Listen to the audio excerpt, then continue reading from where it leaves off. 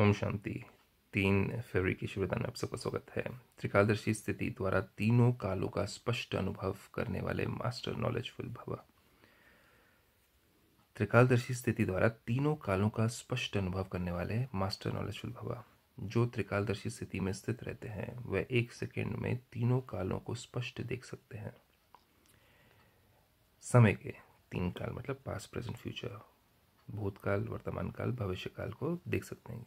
कि अभी मैं जो कर रही हूँ आत्मा या कर रहा हूँ आत्मा, मैंने उसकी क्या प्राप्ति करी थी?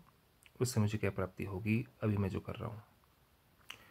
तो कल क्या थे? आज क्या हैं? और कल क्या होंगे? कल क्या थे? देवता थे।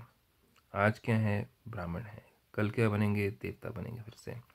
उनके आगे सब स्पष्ट हो जाता है।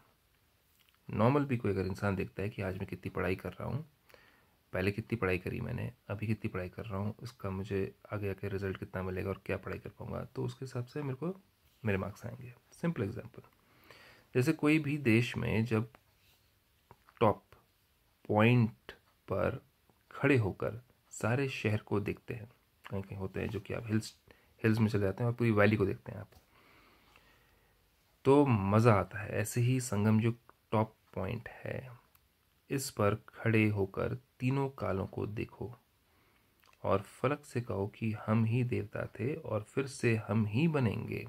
इसी को कहते हैं मास्टर नॉलेजफुल। कि हाँ अगर आप इस संगम युग पर हो और आप पूरी दुनिया की हालत को देख रहे हो और सारे ज्ञान को एक निचोड़ में जाकर के आप एक बिंदु पॉइंट बना देते हो सारे ज्ञान का और आप ऊपर से देखते हो तो आपको ये महसूस होता कि हाँ हम ही वो आत्माएँ थी जो देवता थे, हम ही वो आत्माएँ जो देवता बनेंगे। गहराई से समझने के लिए ब्रह्म कुमारी सेंटर पर जाइए। ओम शांति।